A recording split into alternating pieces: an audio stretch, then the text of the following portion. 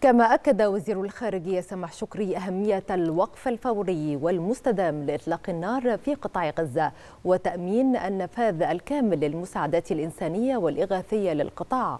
أشهد وزير الخارجية خلال كلمته في الدورة السادسة لمنتدى التعاون العربي الروسي بمواقف روسيا المتزنة تجاه القضايا العربية وموقفها بمجلس الأمن بشأن تطورات الأوضاع في غزة. كما جدد شكري رفض مصر لتهجير الفلسطينيين داعيا المجتمع الدولي للتصدي للممارسات الإسرائيلية التي تدفع عمليا إلى هذا التهجير.